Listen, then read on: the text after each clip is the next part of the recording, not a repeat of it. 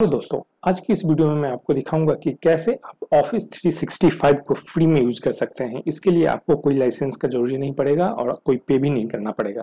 तो इसके लिए आपके पास एक जीमेल आईडी होना चाहिए, जिसके थ्रू आप एक्सेस कर पाएँगे ऑफ़िस 365 को और उसमें जो एक्सेल है ऑफ़िस 365 का, उसको यूज़ कर पाएँगे। तो कैसे करेंगे, उसके लिए मैं आपको ये प्रोसेस दिखा रहा हूँ।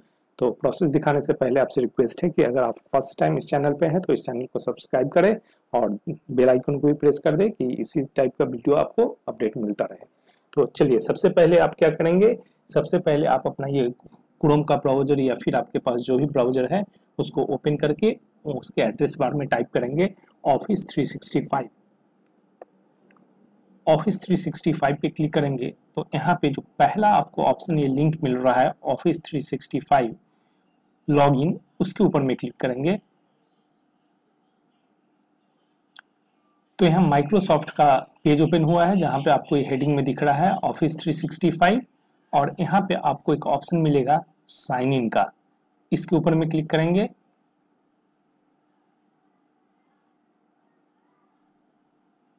अब यहाँ पे आप ऑप्शन आता है साइन इन और एक क्रिएट वन अगर आपके पास कोई भी अगर ऑफ़िस का आपके पास अगर कोई भी माइक्रोसॉफ्ट ऑफ़िस का अकाउंट नहीं क्रिएटेड है तो आपको ये क्रिएट करना पड़ेगा। तो मेरे पास ऑलरेडी क्रिएटेड है, फिर भी मैं आपको एक प्रोसेस दिखा दे रहा हूँ। इसमें क्रिएट वन पे क्लिक करना है। और यहाँ पे आपका जो भी जीमेल आईडी है, उसको यहाँ पे देना है। जीमेल आईडी डालिएगा। उसके बाद ये एक वेरिफिकेशन कोड आपके उस पर्टिकुलर जीमेल आईडी में वहाँ पे भेजेगा। फिर वो कोड इसमें डालेंगे। फिर वो आपसे पासवर्ड आपके इच्छा अनुसार आपको पासवर्ड यहाँ पे देना है, जो आपको फ्यूचर में यूज़ कर सकते हैं। और इस तरीके से आप यहाँ पे जब भी अपना अकाउंट को क्रिएट कर लेंगे, उसके बाद इसको लॉगिन करना है। तो फिर से मैं लॉगिन पेज में चला जा रहा हूँ। यहाँ से मैं अपना ईमेल आईडी के थ्रू लॉगिन कर रहा हूँ। तो सबसे पहले मैं यहाँ पे ईमेल आईडी पुट कर लेता हूँ।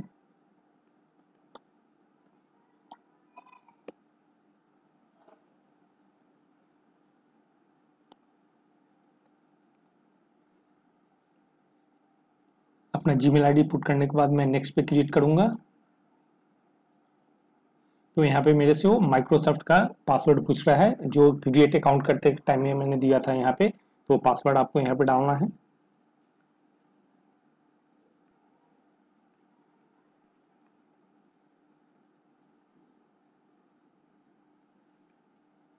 उसके बाद डालने के बाद यहाँ पे साइन इन बटन पे क्रिएट करेंगे। साइन इन बटन पे क्लिक करेंगे। यहाँ पे जो ऑप्शन आ रहा है, ये है येस और नो इसमें से आप कोई भी सिलेक्ट कर सकते हैं तो मैं यहाँ पे कर रहा हूँ नो